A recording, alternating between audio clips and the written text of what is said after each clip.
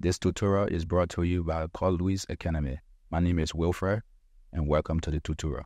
So let's begin. Before enabling Hyper-V on Windows 11, and this is also applicable for Windows 10, make sure you meet the requirements. So your Windows 10 or your Windows 11 has to be the Professional Edition or the Enterprise Edition. It should obviously will have a processor in the computer that supports second level address translation. You need a minimum of 4 gigabyte of RAM. And then you need a BIOS that supports virtualization. And most modern BIOS on computers already support virtualization. So these are things to keep in mind before you can enable Hyper-V. So the first thing I want to do is to open run and just type appwiz.cpl and press enter. What I want to do is to go to the top left and click on turn Windows features on or off. So I'll click that. I'll just click on yes. For Windows feature, I need to make sure to turn on Hyper-V. So for my computer, I already have it enabled, but you will come and just click in this little square red by Hyper-V and click on OK, and it's going to install or enable the Hyper-V role, and then you restart your computer, and then you are good to go. So once that is done and you have restarted your computer, the next stage will be to open your Hyper-V manager. So on your computer, you can just search for Hyper-V and you'll see Hyper-V Manager. So you click on that and you click on Yes for the user account control. When your Hyper-V Manager opens, as you can see on my Hyper-V Manager, I already have Windows Server 2022 and Windows 10. For you, you wouldn't have anything yet. It would just be your Hyper-V Manager. So what you want to do is to come to the left, right on our Hyper-V Manager, you will see the name of your computer. So you right click on your computer and you come to New and you click on Virtual Machine. So you can either do it this way or you could click on Action and come to New and go to Virtual Machine. Or another option is to come to the top right hand corner on the Action menu and you click on New and then you see Virtual Machine.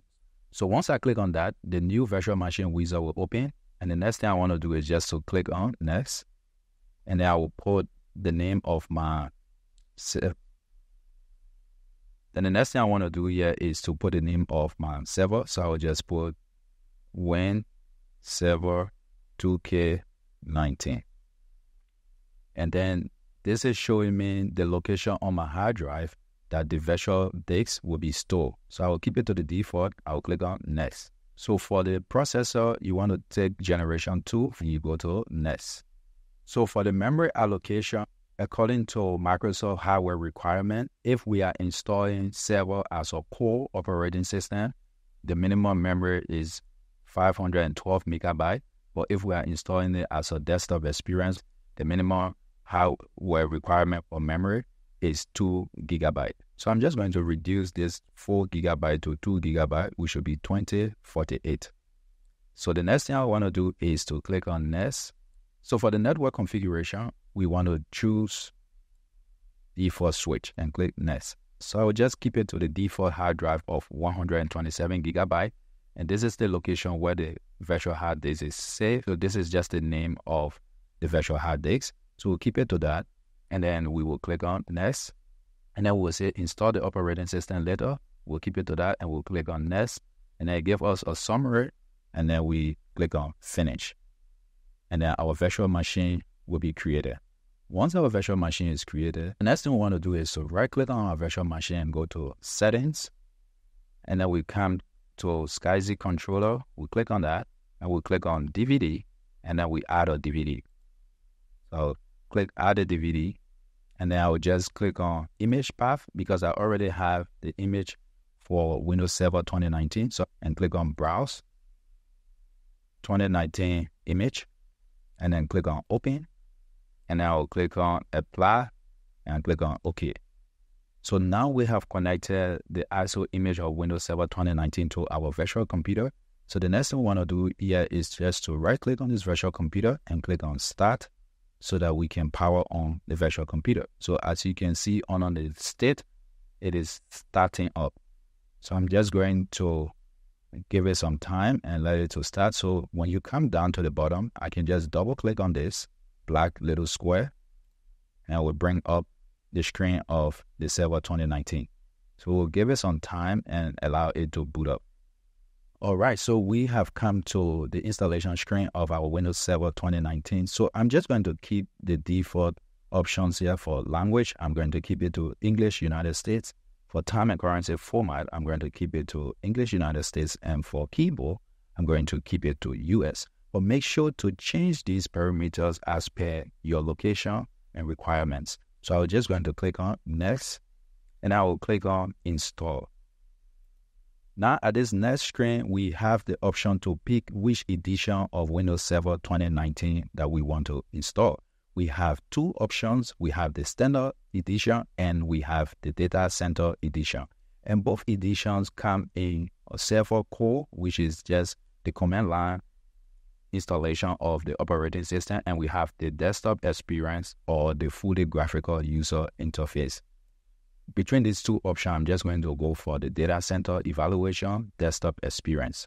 In another video, we will install the data center evaluation, but for this case, we're going to choose desktop experience data center evaluation and we click on next. Then we read the end user license agreement and then after going through it, we accept the license agreement and then we click on next. We have two options to either upgrade this is for where you have an existing operating system or to perform a new installation. For our case, it's a new installation. So we're going to go for the second option, custom install Windows only advanced. So we click on the second option and then it brings us to where we have our hard drive. And then we're just going to keep it to that one hard drive and then we'll just click on new and then you can just click on apply and it's going to tell you that Windows will automatically create some system partition and then you click on OK. And I did this on purpose so that you can see the other system partitions that Windows will automatically create. Or else at this place, instead of clicking on new, I could have just clicked on next and it's going to do everything in the background. But I wanted you to see what happens when you click on next. So when you click on next, it's as if you click on new what it does is the Windows automatically creates some partitions that are required by the Windows operating system. That we have the recovery partition, we have a system partition, and we have a reserve partition. And then we have the main partition, which is where the operating system will be installed. So make sure that this primary partition is highlighted and click on next so that the operating system can be installed on that partition. So I will click on next so the installation of Windows Server 2019 has begun. So I'm going to pause my video, allow it to install, and once that is done, we will come and complete our setup of Windows Server 2019.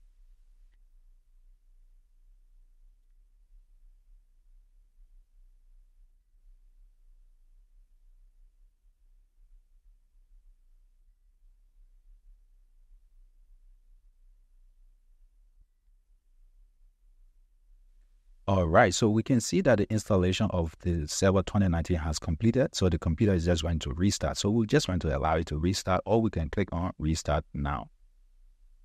So once our server 2019 restarts after installation, we have the option to set up or use password for our administrator account. So that's the default account that is created for us by Windows. So we can just set up a password for that. So I'm just going to set up a password and then I'm going to re-enter that password. And after doing that, I will just click on finish in the bottom right hand corner. So I'll click on finish. And then it's going to finish and then I can just click on connect. So just because I click on connect, the screen is kind of small. So I'll just come up right below the help and click on basic session to help it to enlarge a little bit. Okay, this is much better. So now I can just log into my computer by pressing Control Alt Delete on my keyboard. But because this is a virtual computer, if I press Control Alt Delete, it's going to trigger Control Alt Delete on my host computer, which is my laptop. So I'm just going to come up to Action and then click on Control Alt Delete, and it's going to do that. And then I can just put in the password. And I press enter, or I can click the little arrow to log in. So because this is the first time that I'm logging in with the administrator account, it's going to take a while to create the profile. So there you go. It has created the profile for that user. And then it's because I turn up off my computer. That's why it's bringing this option. So I'm just going to click on cancel. And I'll give it a few seconds and allow the Windows Server dashboard manager to open up and as well as the Windows Admin Center. So I will just click this notification for the Admin Center and this is our Server Manager dashboard. So as you can see, we have successfully installed Windows Server 2019. In our next video, we're going to do post-installation configuration of Server 2019. And then in this series of videos, we're going to take you through step-by-step different configuration and setup that you can perform with Windows Server 2019. So make sure to like this video on LinkedIn and leave a comment in the comment section down below and make sure to share it with someone who will find it useful. Invite others to be a part of this Microsoft User Group Ghana and follow the tutorial and learn something new. But this video was done by Wilfred Andrew Delamy from the Carl Lewis Academy. It is to be used exclusively for the Microsoft User Group Ghana. Take care, and I will see you in the very next video. Bye.